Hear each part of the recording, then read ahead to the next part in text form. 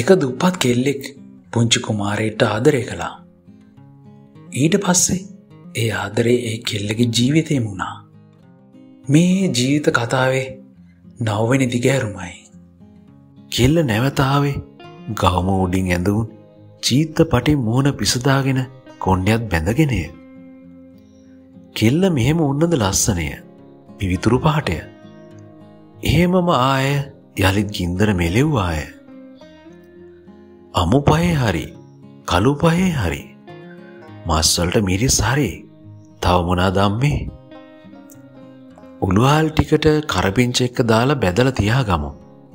එතකොට රහයි අම්මත් එහෙම බැදල තියාගන්නවා තමා. වර්ෂා උළුහල් පන්සියක් පමණ තාච්චිට දැම්ම අය. උළුහල් පැදිත් දෙන්නේ පුදුමාකාර සුවඳකි. එහෙම මෑ අලුත් කරපෙංචා ඉති තුන හතරක් ගෙන හෝරා ඒටම දැම්මාය. අම්මේ සුවඳ ඕකෙන් ටිකත් දාලා අලහොද්දක් කිරිහොද්දක් හැදුවම හරි රහයි.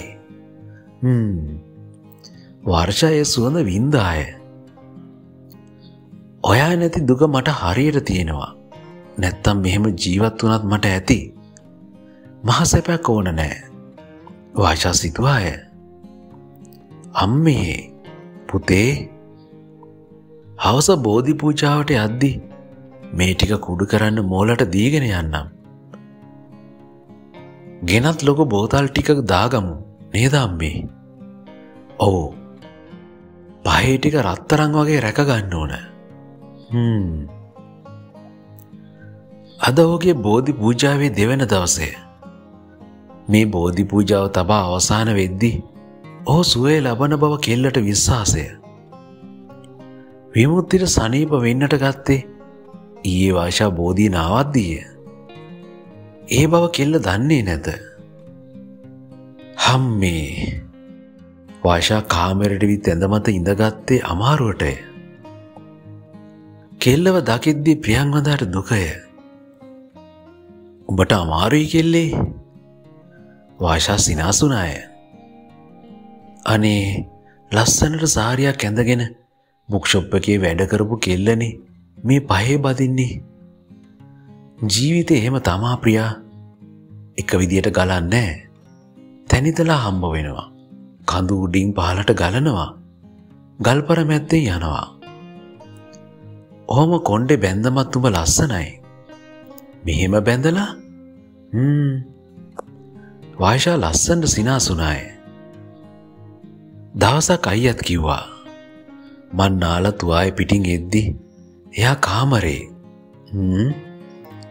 ඒ දවස්සල යාළු වෙලා නෑ. ඉන්නයාට ප්‍රියංවද ඇසුයේ නැත.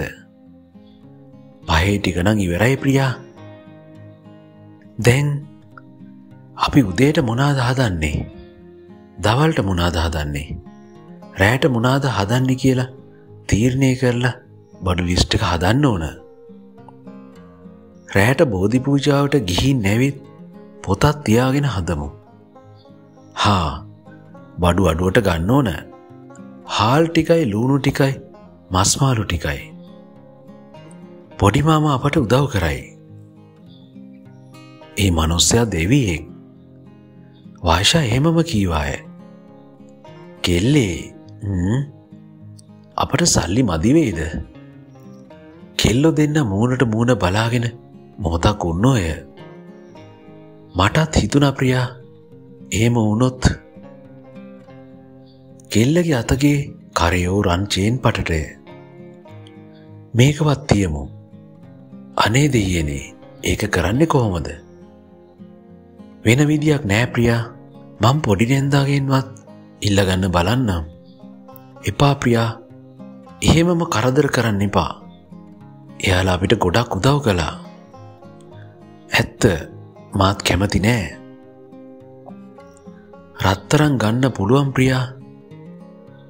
ජීවිතය වුන්න එකම රත්තරං කඳ නැතුව මොන රත්තරන්ද?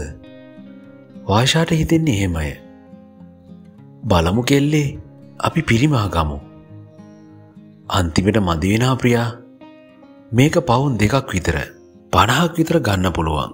දැන් පවුම වැඩීනේ වාශා පුතු දෙස බලාගෙන කීවාය තාත්ති නැතු අපට මොන රත්තරන්ද? නේද පැටියෝ? කෙල්ල සිතින් කීවේ හෙමය විමුත්තිට නැවත සීහෙද්දිත් ඔහු ළඟ උන්නේ හිමාලිය. ඒ මොහොතේදීත් විමුත්තිගේ හිස මත හිමාලික සුරත විය. අයියේ! හිමාලයේ මුහුණටම බරව කතා කලාය විමුත්ති අඩවන් දෙනෙති හිමාලි දෙසම් බලා උන්නේ.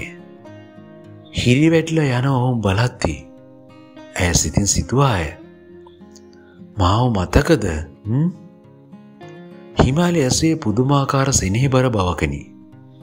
කෙල්ලෙකු සතු උපරිම ලගන්නා බව ඒ වචන දෙක තුළ විය. විමුත්ති බලාගෙනම උන්නේය.